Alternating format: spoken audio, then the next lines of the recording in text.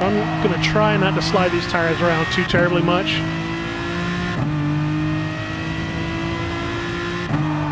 But of course you can't be so precious with them that you lose pace.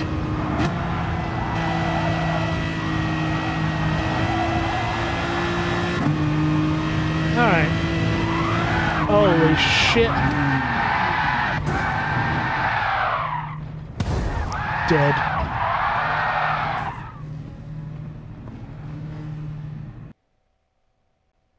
Okay, we're back. After a few races in Project Cars 2, we're back to Gran Turismo in another last of first challenge, this time in the undeniably beautiful Aston Martin V12 Vantage. Let's do it. Okay, here's the deal. Arcade mode, custom race. We are going to go to St. Croix in the B version of the circuit, 4.4 miles basically. We'll take a dawn race. All right, and what the conditions are is six laps, starting last, largest rolling start interval available. Um, no boost, turn that rubber banding off. Fuel consumption to four times, tire wear to five times. Uh, that is um, just kind of adds a little wrinkle to the racing. It doesn't actually. Um, I don't need to pit, you know, for tires or fuel, and I also don't need to do any crazy fuel conservation with lifting and coasting or short shifting or managing my fuel mixture or anything like that. It just adds another little interesting twist to the race. Okay, so the conditions of the race are as follows. What we're going to do is um, we're going to use the uh, balance of performance, homologation, performance indexing, whatever you want to call it. Uh, it actually ups the horsepower by 12% because, you know, to be fair against these other GT3 cars, the Vantage is somehow underpowered, uh, but it adds 6% weight. But um, that's to help really compete with the with the BMWs. Those are the main your opponents here, uh, really more than anything. I'm on racing medium tires. Um, the only other adjustments that I've made are I gave myself a customizable transmission and I tweaked it just a little bit. You can see the settings here. It's not you know massively tweaked or anything, but that's it. And then of course the uh, in the driving stuff we're to have traction control is off and ABS is off. So having said that, let's do six laps around here at St. Croix B. Uh, and, and again, this is really more, you know, about a battle between you and the, the BMW M6s because, uh, you know, in this race with this balanced performance, anybody can get up to the top three. Anybody can. That's not an accomplishment. It's it's getting to the top three and then getting past the the two BMWs up there because they have such a head start advantage with that you know that large rolling uh, start interval as well as just more power than anybody else. So getting to P3 is not going to be an accomplishment. Getting to P1, that's where it becomes more difficult here. Uh, but having said that, uh, let's get underway.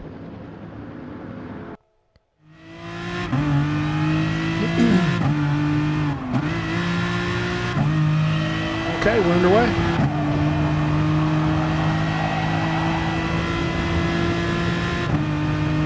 Give them a little flash of the lights, let them know we're coming.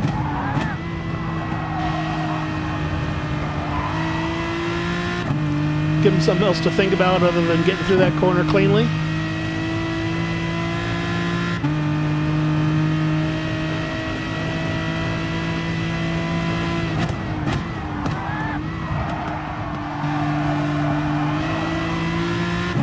The only thing I, I, I, don't like about racing this track at this time of day is right there for turn one. You can't make out the numbers on the uh, corner markers. Which is not a big deal if you're paying attention when you're coming down the front straight. But if you get distracted or something happens and you forget to count corner boards, you're kind of like, oh, where's my braking reference?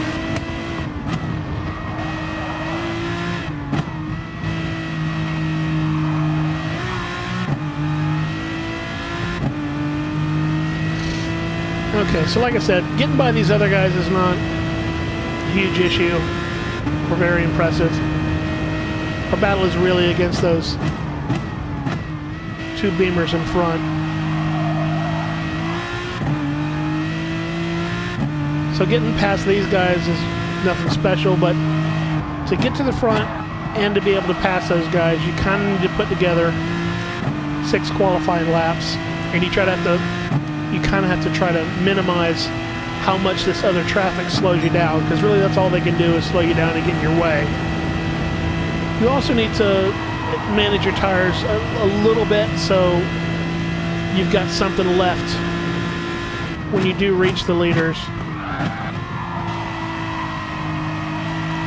to do battle with.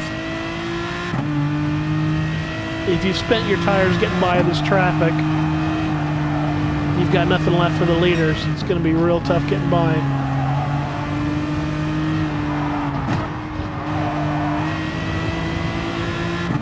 Of course, you can't be so precious with your tire wear either that you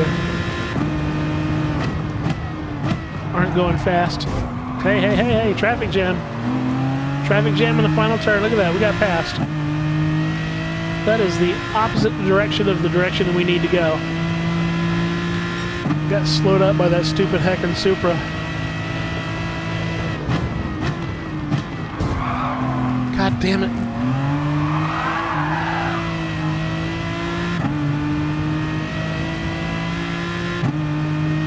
I say getting by these guys is nothing, and then I sit here and have trouble getting by the guys. I'm doing all kinds of backing into corners and sliding the fucking car around. Doing exactly the kind of non-tire saving strategy that I just talked about.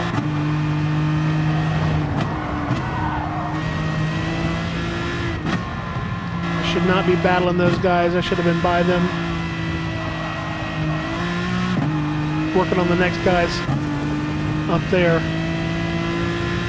You see the leader is 16 seconds ahead. 16 seconds is a lot to make up in like four and a half laps.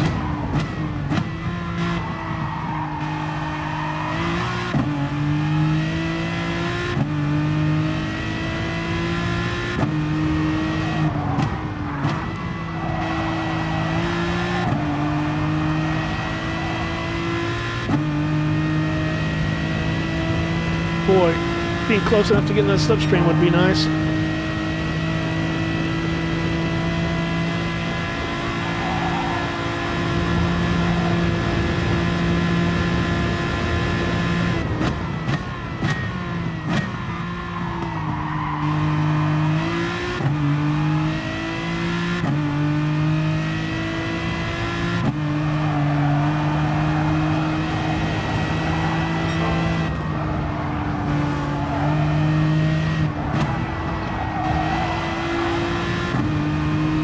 Okay. Next bunch. Next bunch.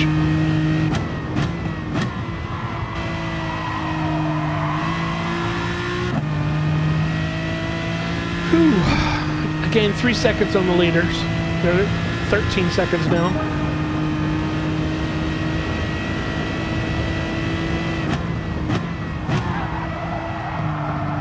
Turn in, turn.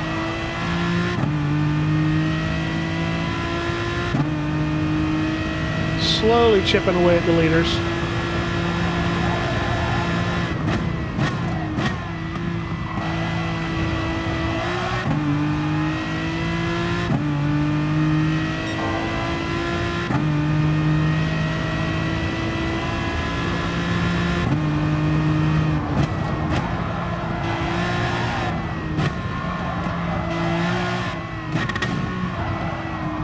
Hello, Rev Limiter.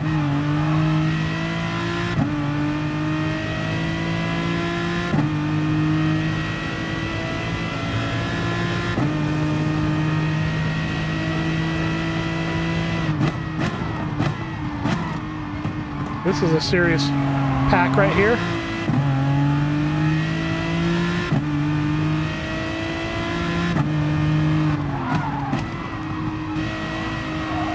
Come on, Audi.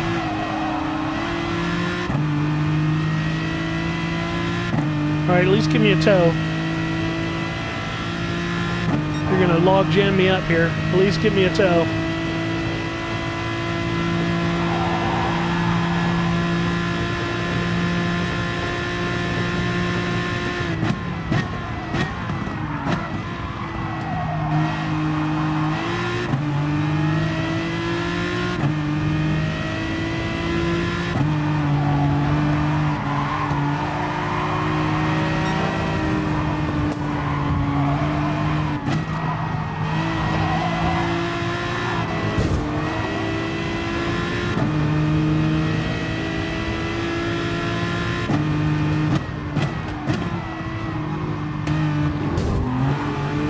Damn Ford GT, get out of my way.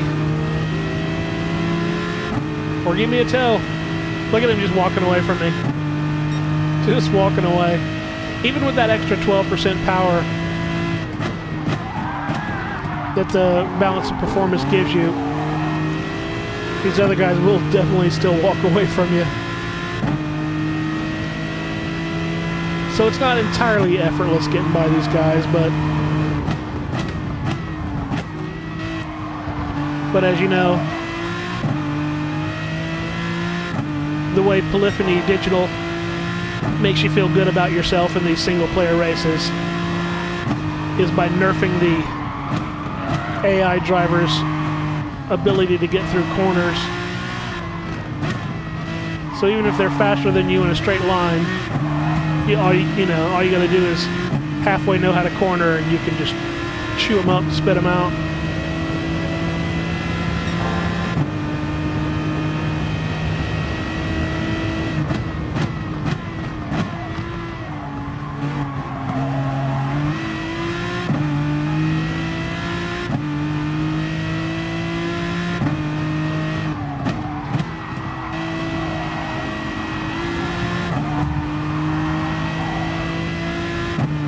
Alright, that was hard, needlessly hard fought. Oh, and here he comes back because he's got more power. Well, go ahead, dude. Let me tuck in.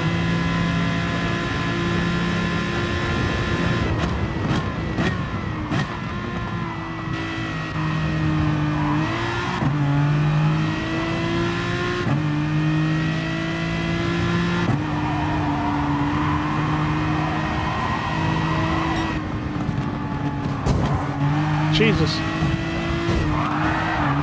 Speaking of AI drivers not knowing how to get through corners.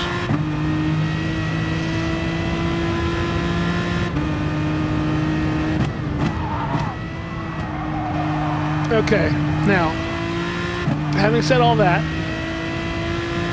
I'm through all that bullshit traffic now. In P3, got two laps to go.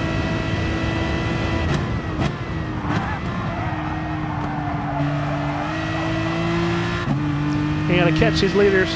The leader's seven seconds ahead. Next guy is 6.2 seconds up.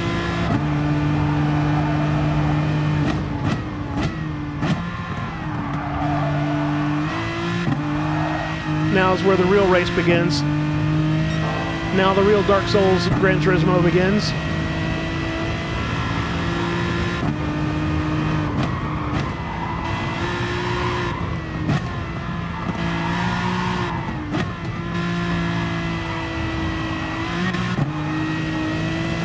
At least now, without these AI drivers that can't corner their way out of a wet paper bag, are not in my way.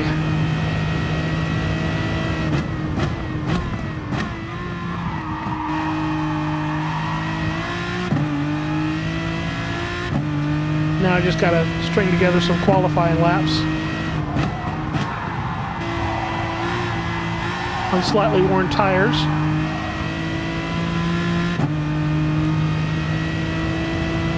But also less weight because of fuel consumption. So they're down to 4.2 seconds. I can see them, I can catch them.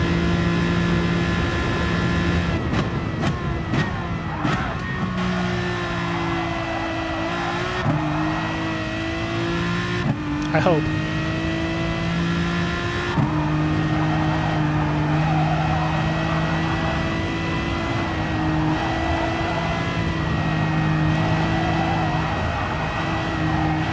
Just a slight lift to help me turn in there.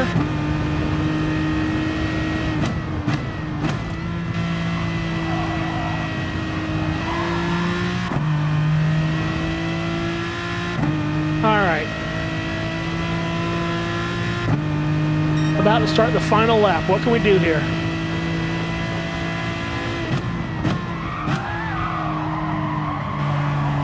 Uh, we can understeer wide into turn one, apparently, is what we can do. Sit here and flash my lights at him and try to distract him.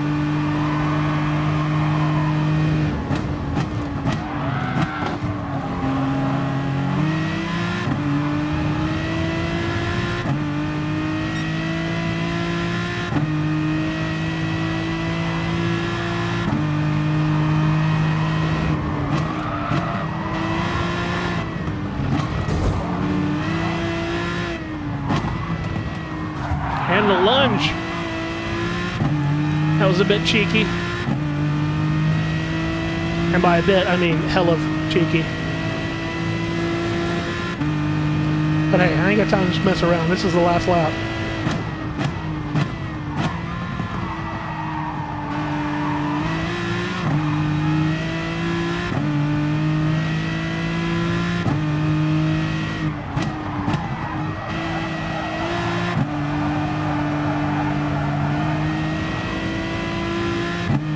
All right, just tuck in.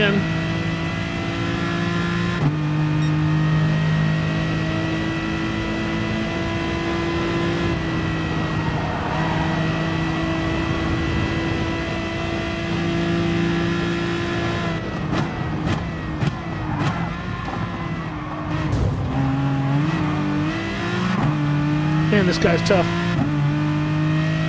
And the other beamers right on my tail too, waiting for me to make a mistake. And come on, let's get by, let's get by. Lift and turn in. Got the downshift here. All right. Hold on to it.